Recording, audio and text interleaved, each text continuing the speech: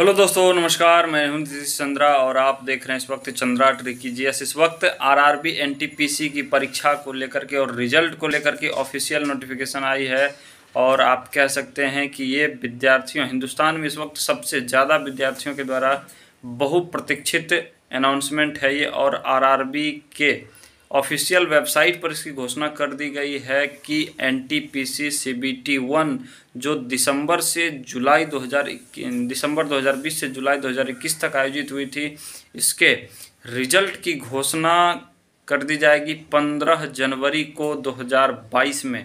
थोड़ा सा लंबा वक्त ज़रूर लिया गया है, लेकिन फाइनली डेट्स आ चुके हैं तो चिंता की कोई बात नहीं, विद्यार्थियों को थोड़ा समय भी मिल गया क्योंकि बीच में अधिकांश विद्यार्थियों को मैंने जहाँ तक देखा, वो फ्रस्ट्रेटेड थे कि रिज़ल्ट कब आएगा ग्रुप डी की परीक्षा का डेट कब आएगा। तो इन बातों को लेकर के वो चिंतित थे, लेकिन अब फाइनली जब डेट्स आ चुके हैं तो उन्हें अपनी तैयारी में जुट जाना चाहिए और न केवल रिज़ल्ट के डेट की, बल्कि सी बी टी टू की परीक्षा का भी डेट साथ ही साथ जारी कर दिया गया है। और सी बी टी टू का जो आयोजन एन टी पी सी के सी बी टी टू का आयोजन होगा, वह चौदह से अट्ठारह फरवरी के बीच 2022 में ही आयोजित किया जाना है।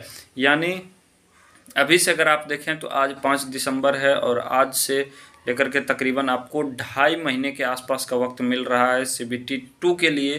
तो ढाई महीने का टाइम पर्याप्त है। आप लोगों के लिए, आप लोगों ने सारी चीज़ों को पढ़ा हुआ होगा। तैयारी आपकी कहीं ना कहीं सुस्त रफ्तार में ही चल रही होगी। या तो आप कहीं ना कहीं लगे हुए होंगे, अगर आप थोड़ा सा पुस्टअप अपने आप को करते हैं तो आप सफल हो सकते हैं। और यह पंद्रह जनवरी को, फिर से एक बार डेट बता देता हूँ मैं, पंद्रह जनवरी को N T P C C B T one के परीक्षा का रिज़ल्ट आएगा और सी बी टी टू चौदह से अट्ठारह फरवरी दो हज़ार बाईस के बीच आयोजित किया जाना है।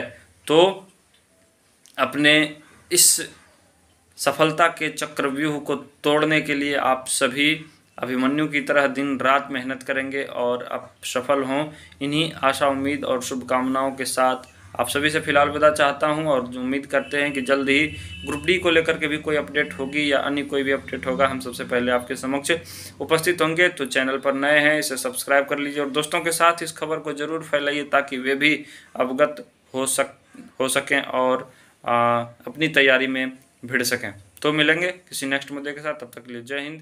धन्यवाद।